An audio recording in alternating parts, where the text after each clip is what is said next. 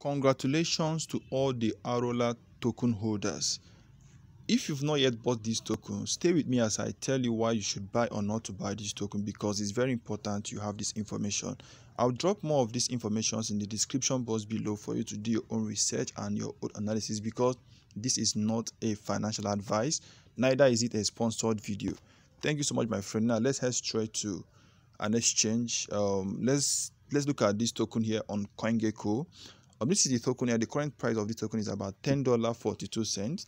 Let's look at the market. We can buy this token right now and then participate in this listing happening tomorrow on KuCoin. Now the interesting thing is we can buy this token from these few exchanges listed here from Huobi Global, Coin, Crypto, Crypto.com.exchange and all of that. Now let's also look at how we can do this all you have to do is just to go to any of these exchanges i've just mentioned buy and then withdraw to your KuCoin and then please do where to sell take a profit and then we are all good to go. Thank you so much my friend. I think this is all for that. Let me also walk you through to their telegram group.